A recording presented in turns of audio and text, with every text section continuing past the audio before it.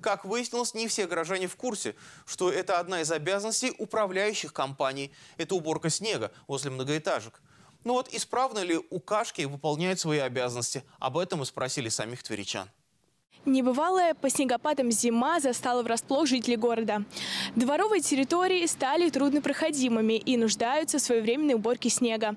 В Твери обслуживают и управляют жилым фондом 589 организаций. Из них 187 управляющих компаний и 253 ТСЖ. Насколько хорошо они справляются со своими обязанностями, узнали у жителей города. и неплохо убирается, все чисто. Кроме тех, э, где машины ходят, например, дом и машина ходит, и, и нам специально, где тротуар, все очищается. Э, Ходить тоже удобно. Ну, иногда убирают. На улице да? Ну, иногда убирают. Ну, надо 20 раз позвонить. Не активно. так.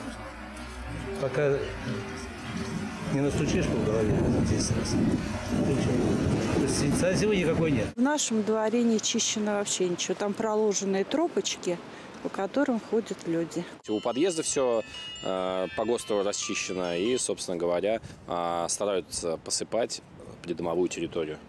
не работает служба. Хотя они там кичатся каждый год, что запаслись техникой, запаслись всякими там непонятными материалами, но я этого не вижу.